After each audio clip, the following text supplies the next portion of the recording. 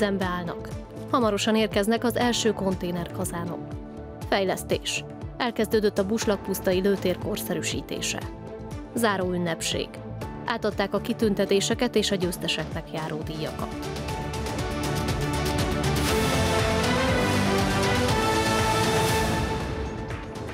Ez az a Legerszegi Televízió híradója. Jó estét kívánok, Gyuk Alexandra vagyok. 2022. október 26-a szerda van. Lássuk a legfrissebb helyi híreket.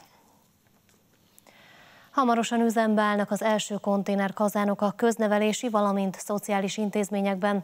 Országszerte 1400 helyszínen van lehetőség beépítésükre. Első körben 400 megrendelés érkezett ezekre az új típusú kazánokra, amiket hamarosan be is szerelnek.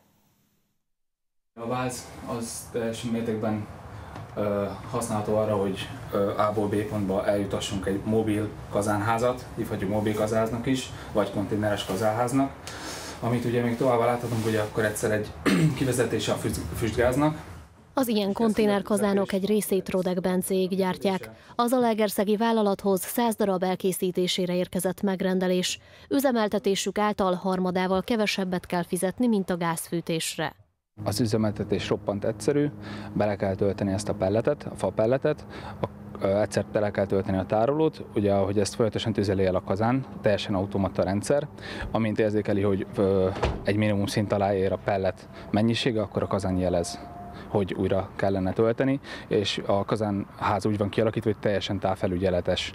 Tehát egy központi szobába is látják azt, hogy ezt a kazánt például újra kell tölteni. A kazánok azáltal, hogy szénmonoxid érzékelőt szereltek rájuk, teljesen biztonságosak. A kormány így módon is szeretné segíteni az olyan intézményeket, ahol nem megfelelő a fűtési rendszer azon közintézmények, iskolák, egyéb állami intézményeknél, de ahol ha a gáz ellátás problémás lesz, vagy ha a gáznak az ára olyan lesz, hogy egyszer nem tudják megfizetni, akkor legyen egy alternatív fűtési mód.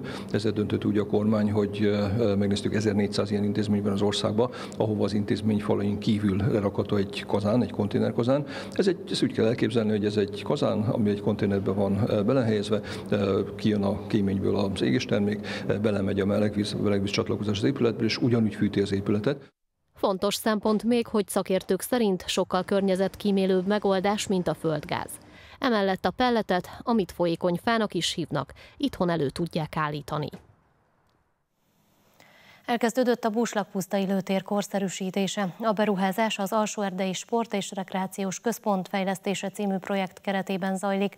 A részleteket a helyszínen sajtótájékoztatón ismertették. Ezen a területen korábban volt már ilyen funkciójú létesítmény.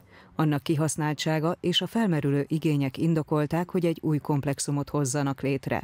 Ezt a célkitűzést a Modern Városok program mintegy 210 millió forinttal támogatta nem csak megújul, hanem új funkciókkal is bővül. És ezeknek az új funkcióknak a hatására, ennek következtében, ha minden jól megy, akkor tudunk olyan szerződést kötni a vadászkamarával, a rendőrséggel, a nemzeti adóhatósággal, hogy ezek a fegyveres szervek is itt a saját fegyverhasználatukhoz kapcsolódóan az akkreditációt, a képzést és a vizsgát meg tudják valósítani, tehát nem kell elmenniük más városokba vagy Budapestre, hanem itt helyben Zalaegerszegen ezek megvalósíthatók lesznek, és az egyben számunkra pedig egy jó bevétel is.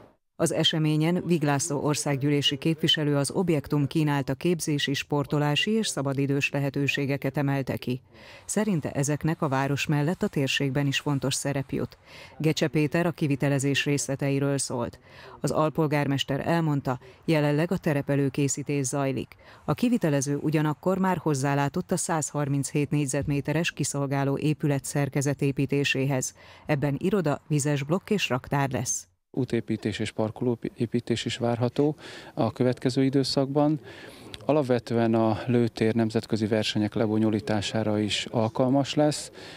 Terveink szerint skit lőtér funkciója is lesz ennek az intézményegységnek, és két lőtorony fogja ezt segíteni, nyolc lőállás, de természetesen szituációs lövészetre és más nemzetközi jellegű versenyekre is alkalmas lesz, és azt pedig egy tíz lőállású helyszín fogja biztosítani. A munkálatok előreláthatólag 2023 májusában érnek véget.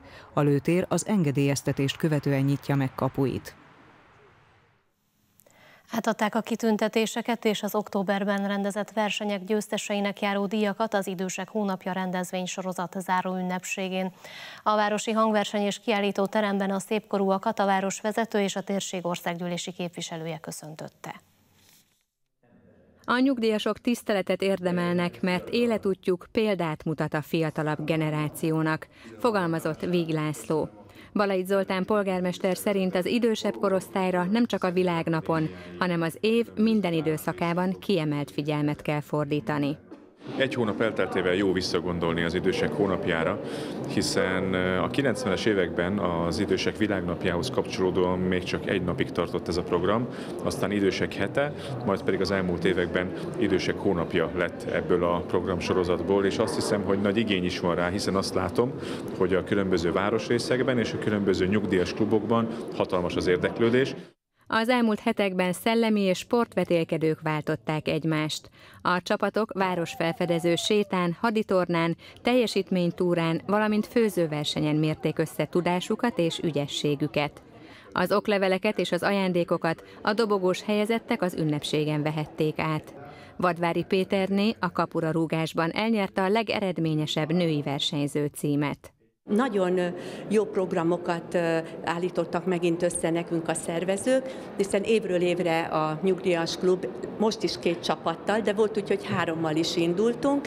Hát most nem sikerült olyan előkelő helyezést elérni a csapattal, de hát ahogy említettem, én meglepődtem, hogy ilyen jó eredményt tud sikerült elérnem. Vidovicsné Bene Erzsébet több éves munkáját kitüntetéssel ismerték el. Egyik feladata a megyei klubok közötti kommunikáció javítása volt.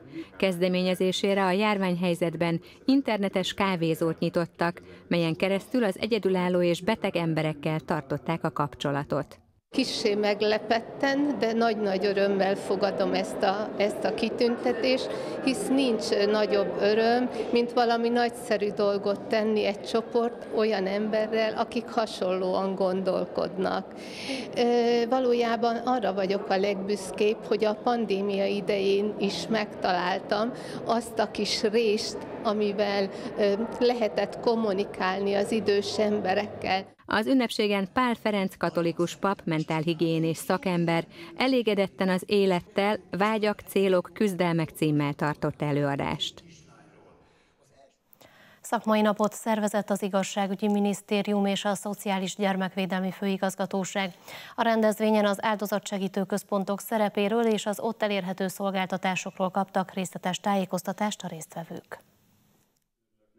Országszerte több megyeszékhelyen segítenek már a bajba jutottakon ezekben az intézményekben. Noha Zalaegerszegen egyelőre csak kirendeltség van, a tervek szerint 2025-ben már itt is egy központ lesz. Ebben azok, akik áldozatnak vagy károsultnak érzik magukat, ingyenesen kaphatnak jogi tanácsot. Ami nagyon fontos, hogy nálunk nem hatósági típusú eljárások vannak, hanem sokkal személyesebb, meghittebb,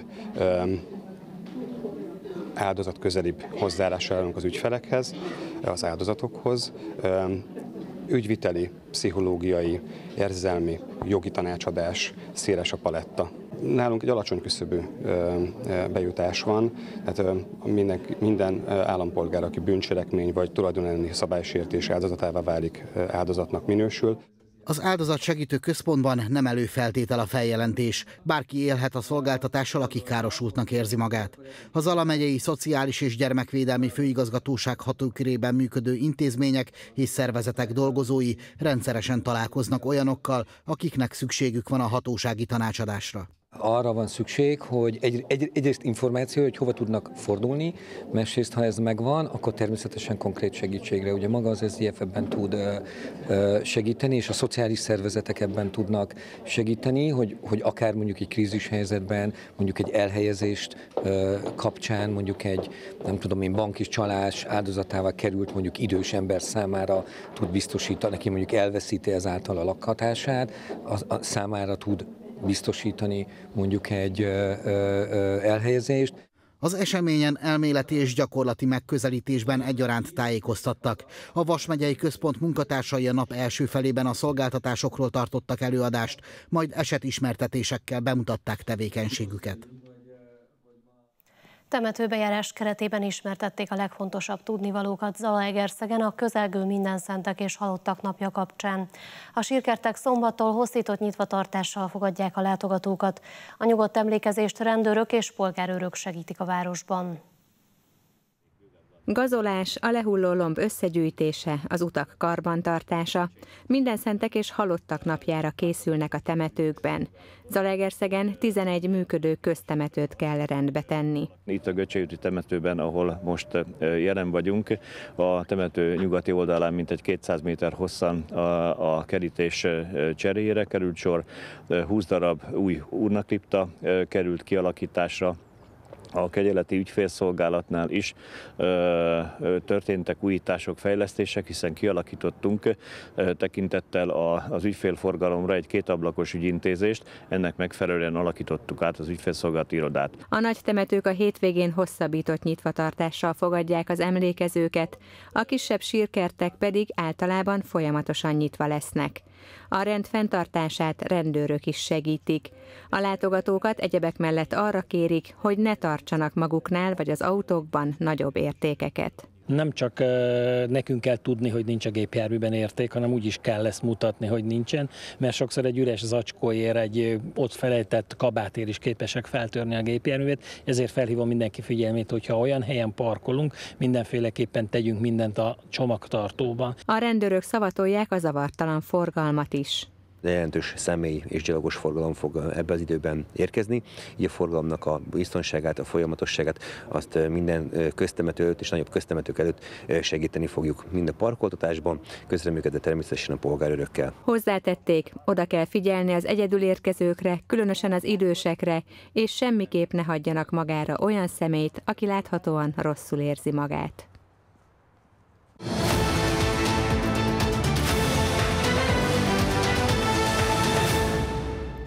Az a Legerszegi Sotokán Karate Egyesület versenyzői ismét nagyszerűen szerepeltek a VKF Diák Olimpián. Horváth Maja Viktória a 8-9 éves korcsoportban formagyakorlatban és kümitében a második helyen végzett. Darók Izabella a 10-11 évesek között formagyakorlatban és kümitében egyaránt másodikként zárt. Lőcsei Fanni Lilia 14-15 éves korosztályban formagyakorlatban nagyon szép katákkal a legjobbnak bizonyult, míg kümitében harmadik lett. A 16-17 évesek mezőnyében Vejling Inger Ádám kümitében harmadik helyezést ért el. Nagy Kata a 12-13 évesek között kümitében a második helyet vívta ki.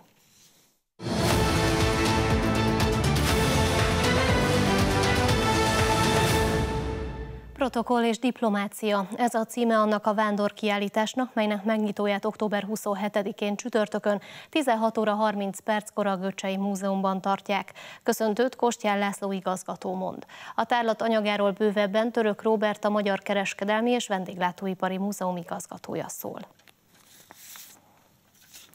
Híradónk végén lássuk a legfontosabbakat még egyszer röviden. Üzembe állnak. Hamarosan érkeznek az első konténerkazánok. Fejlesztés. Elkezdődött a buslakpusztai lőtér korszerűsítése. Záró ünnepség. Átadták a kitüntetéseket és a győzteseknek járó díjakat. Ez volt az Alegerszegi Televízió híradója 2022. október 26-án szerdán. Friss hírekkel legközelebb csütörtökön este várjuk Önöket. A térség legfontosabb történéseiről addig is tájékozódhatnak honlapunkon, a www.zektv.hu oldalon, ahol akár híradónkat is visszanézhetik. Köszönjük megtisztelő figyelmüket, viszontlátásra!